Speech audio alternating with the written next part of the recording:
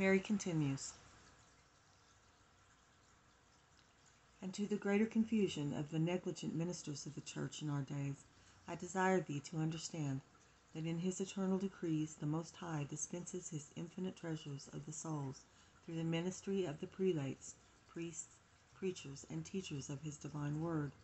As far as his will is concerned, they might be they might all be angelic rather than human in their holiness and perfection.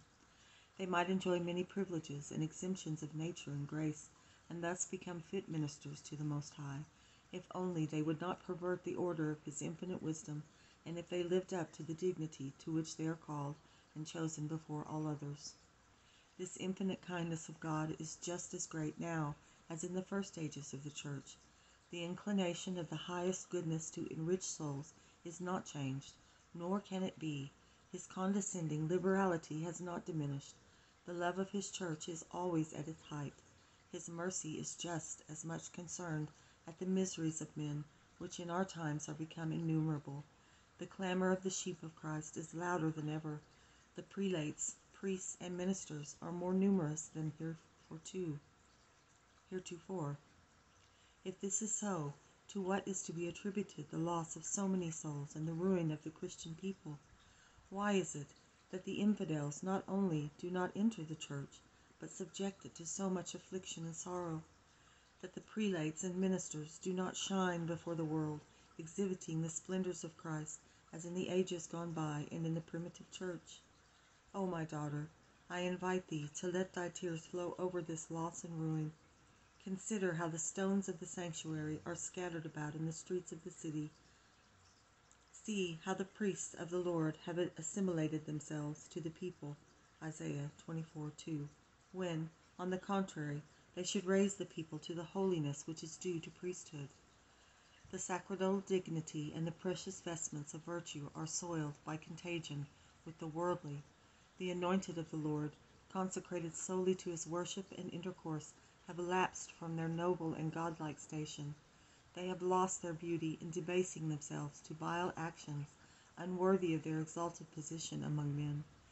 They affect vanity, they indulge greed and avarice, they serve their own interests, they love money, they place their hopes in treasures of silver and gold, they submit to the flatteries and to the slavery of the worldly and powerful, and, to their still lower degradation, they subject themselves to the petty whims of women, and sometimes make themselves participants in their counsels of malice and wickedness.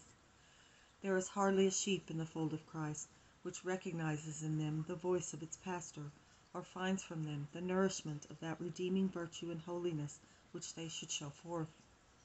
The little ones ask for bread, and there is none to distribute. And if it is dealt out in self interest, or as a compliment, how can it afford wholesome nourishment to the necessitous and infirm from such leprous hands? How shall the heavenly physician confide to such administrators the medicine of life? Or how can the guilty ones intercede and mediate mercy for those who are less or even equally guilty? These are the reasons why the prelates and priests of our times do not perform the miracles of the apostles and disciples and of those who in the primitive church imitated their lives by an ardent zeal for the honor of the Lord and the conversion of souls. On this account, the treasures of the blood and death of Christ in the church do not bear the same fruits, either in his priests and ministers, nor in the other mortals. For if they neglect and forget to make them fruitful in themselves, how can they expect them to flow over on the rest of the human family? On this account the infidels are not converted on learning of the true faith, although they live within sight of the princes of the church, the ministers and preachers of the gospel. The church in our times is richer in temporal goods, rents, and possessions. It abounds with learned men, great prelacies, and multiplied dignities. And as as all these advantages are due to the blood of Christ, they ought all to be used in his honor and service promoting the conversion of souls, supporting his poor, and enhancing the worship and veneration of his holy name. Is this the use made of the temporal riches of the church? Let the captives answer whether they are ransomed by the rents of the church. Let the infidels testify whether they are converted, whether heresies are extirpated. at the expense of the ecclesiastical treasures, but the public voice will loudly proclaim that from these same treasures pa- palaces were built, prim- primogeniture established, the airy nothingness of noble titles bought, and, what is most deplorable, it is known to what profane and vile uses those that succeed in the ecclesiastical office put the treasures of the church, how they dishonor the high priest Christ, and in their lives depart just as far from the imitation of Christ and the apostles as the most profane men of the world. If the preaching of the divine word by these ministers is so dead and without power of vivifying the hearers, it is not the fault of truth or of the Holy Scriptures, but it is because of the abuse and the distorted intentions of those that preach it. They seek to compromise the glory of Christ with their own selfish honor and vain esteem, the spiritual goods with base acquisition of stipends, and if those two selfish ends are reached, they care not for other results of their preaching. Therefore they wander away from the pure and sincere doctrine, and sometimes even from the truth, which the sacred authors have recorded in the Scriptures, and according to which the holy teachers have explained them. They slime it over with their own ingenuous and ingenuous subtleties, seeking to cause rather the pleasure and admiration of their hearers than their advancement. As the divine truths reach the ears of the sinners so adulterated, they impress upon the mind rather the ingenious, in, ingenuous sophistry of the preacher than the charity of Christ. They bring with it no force or efficacy for penetrating the hearts, although full of ingen, ingenuous, I'm sorry, artifice to delight the ears. Let not the chastisement of these vanities and abuses, and of others unknown to the world, astonish thee, my dearest, and be not surprised that divine justice has so much forsaken the prelates, ministers, and preachers of his word, or that the Catholic Church, having such an exalted position in its beginnings, should now be brought to such low estate. And if there are some priests and ministers who are not infected with these, lamentable vices, the Church owes so much the more to my divine Son in these times, which he is so deeply offended and outraged. With those that are zealous, he is more liberal, but they are few in number, as is evident from the ruin of the Christian people, and from the, from the contempt into which the priests and preachers of the gospel have fallen. For if the number of the perfect and the zealous workers were great, without a doubt sinners would reform and amend their lives. Many infidels would be converted. All would look upon and hear with reverence and fear such preachers, priests, and prelates. They would respect them for their dignity and holiness, and not for their usurped authority and outward show, which induces a reverence too much like worldly applause and altogether without fruit. Do not be afraid or abashed for having written all this, for they themselves know that it is the truth, and thou dost not write of thy own choice, but at my command. Hence, bewail such a, sta- such a sad state, and invite heaven and earth to help thee in thy weeping, for there are few who sorrow on account of it, and this is the greatest of all the injuries committed against the Lord by the children of the church.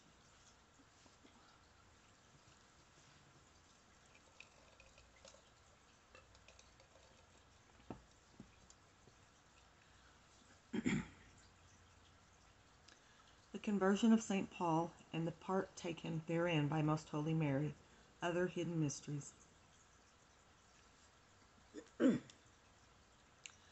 our mother, our mother, the Church, governed by the divine Spirit, celebrates the conversion of St. Paul as one of the greatest miracles of grace for the consolation of sinners. For, from a virulent and blasphem- blasphemous persecutor of the name of Christ, as St. Paul calls himself, 1 Timothy 1:13, he was changed to an apostle obtaining mercy through divine grace. As in obtaining it, our great Queen bore such a prominent part. This rare miracle of the Omnipotent must not be passed over in this history, but its greatness can be better understood if the state of St. Paul as a persecutor of the church at the time of his calling is explained, and when the causes which induced him to signalize himself as such a strong champion of the law of Moses and bitter persecutor of Christ are known. St. Paul was distinguished in Ju- Judaism for two reasons. The one was his own character, and the other was the diligence of the demon in availing himself of his naturally good qualities. St. Paul was of a disposition generous, magnanimous, most noble, kind, active, courageous, and constant. He had acquired many of the moral virtues. He glorified, he glorified in being a staunch professor of the law of Moses and in being studious and learned in it, although in truth he was ignorant of its, of its essence as he himself confesses to Timothy, because all his learning was human and terrestrial, like many Jews. He knew the law merely from the outside, without its spirit, and without the divine insight which was necessary to understand it rightly and to penetrate its mysteries. But as his ignorance seemed to him real knowledge, and as he was gifted with a retentive memory and keen understanding, he was a great zealot for the traditions of the rabbis. Galatians 1:14. He, ju- he judged it an outrage and absurdity that, as he thought, a new law invented by a man crucified as a criminal should be published in opposition to them and to th- that law which was given by God himself and received by Moses on the mount. Exodus 24. Hence, he conceived a great hatred and contempt for Christ, his law, and his disciples. Steeped in this error, he called into activity all his mortal virtues, moral virtues, if that can be called virtue which was devoid of true charity, and prided himself much in combating the errors of others. For that is a common fault with the children of Adam, that they please themselves in some good work without making the much more important effort to reform some of their vices. In this self-deception lived and acted Saint lived and acted Saul, deeply convinced that he was zealously promoting the honor of God and upholding the ancient law of Moses and its divine ordainments. It appeared to him that in acting thus he was defending God's honor, for he had not really understood this law, which in its ceremonies and figures was but temporal and not eternal, and which was necessarily to be abrogated by a more wise and powerful legislator, as Moses himself foretold. Deuteronomy 18:15.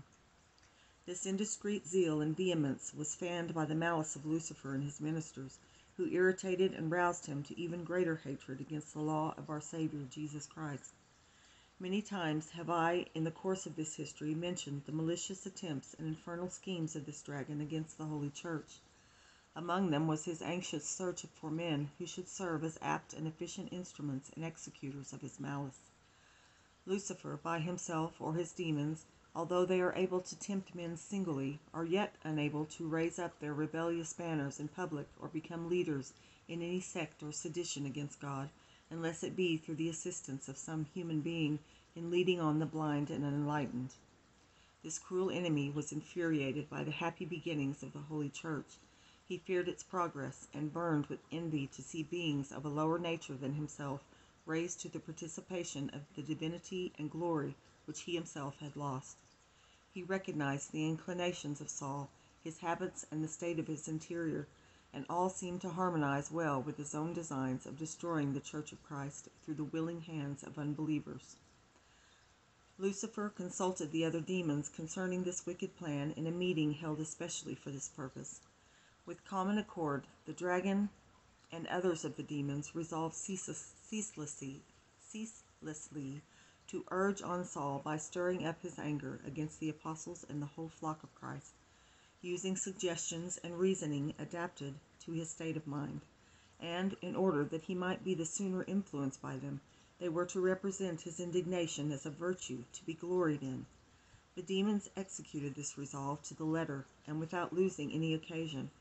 Although Paul was dissatisfied and opposed to the teaching of our Lord even before his death on the cross, yet he had not de- yet declared himself so zealous a defender of the law of Moses and, ad- ad- adversary of the Lord. It was only at the death of Saint Stephen that he showed the wrath which the infernal dragon had roused against the followers of Christ. As that enemy had found the heart of Saul on that occasion so ready to execute all his malicious suggestions, he became so arrogant in his malice that it seemed to him he need not desire more, and that this man would offer no resistance to any malice he ever could propose. In his impious presumption, Lucifer tried to induce Saul to attempt single handed the life of all the apostles, and, with still greater presumption, even the life of the most blessed Mary. To such a point of insanity rose the pride of this most bloodthirsty dragon. But he deceived himself.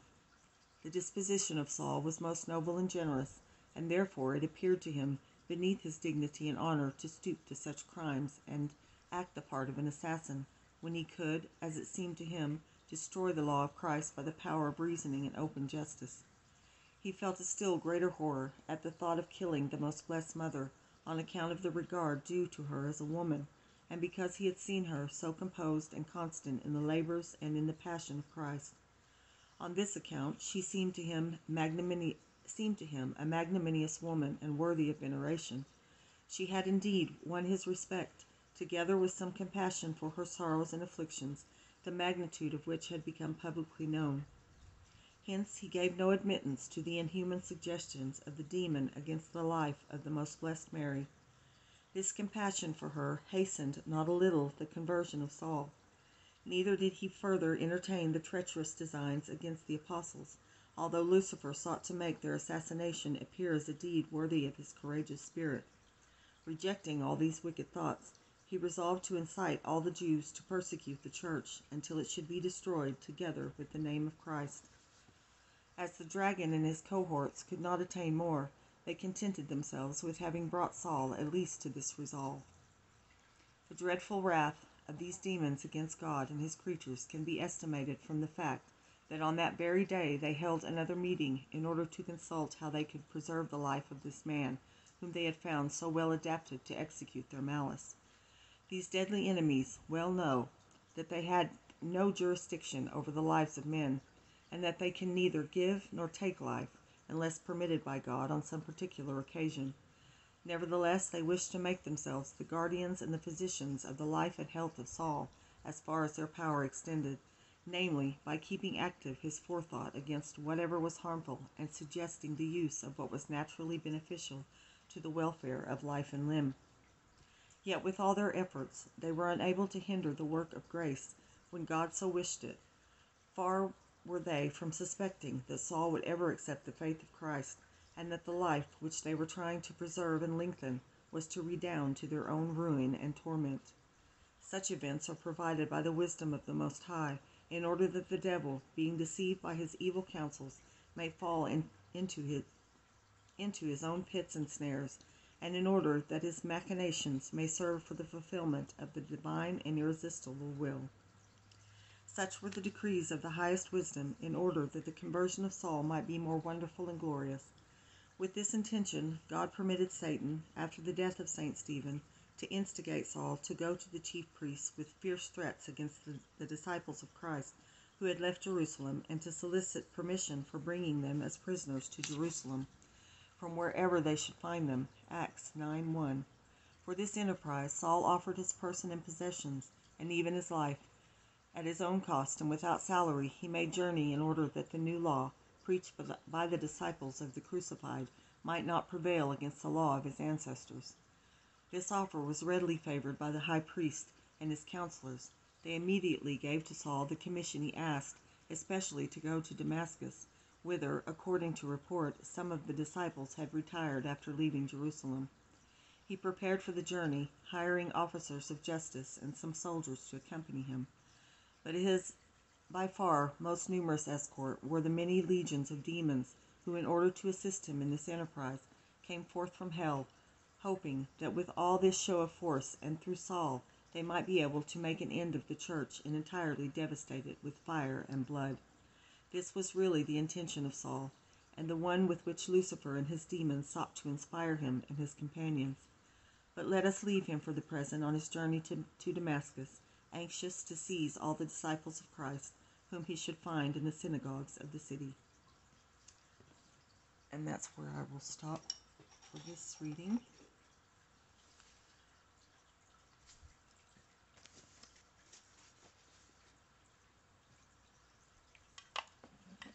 O my Jesus, forgive us our sins, save us from the fires of hell, lead all souls to heaven, especially those in most need of thy mercy.